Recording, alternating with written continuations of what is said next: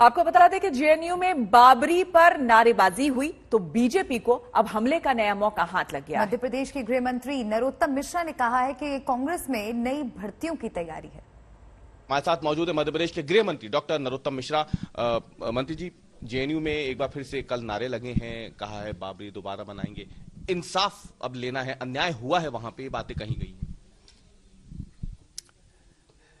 ये क्या है कि कांग्रेस में नई भर्ती की तैयारी है।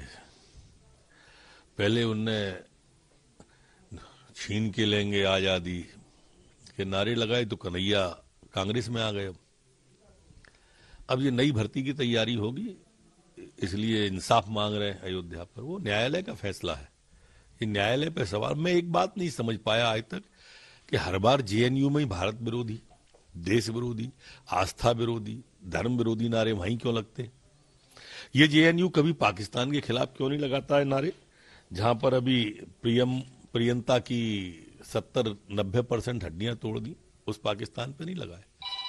केरल में चक्कुओं से गोंद के उसको मार दिया पत्नी के साथ जा रहा था अनंत, लेकिन उस पर कभी नहीं आए जेएनयू में नारे। दिल्ली में चक्कुओं से गोंद के मार दिया, उस पर कभी नहीं आए।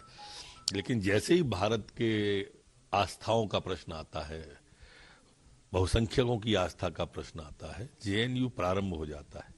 छह तारीख को नारे, सिर्फ़ इसी कॉलेज में लगते हैं, देश में और कहीं नहीं लगते ये सरकारी पैसे से जो जनता की गाड़ी कमाई से जो निशुल्क शिक्षा, निशुल्क भोजन चल रहा है, इस पर विचार करना चाहिए।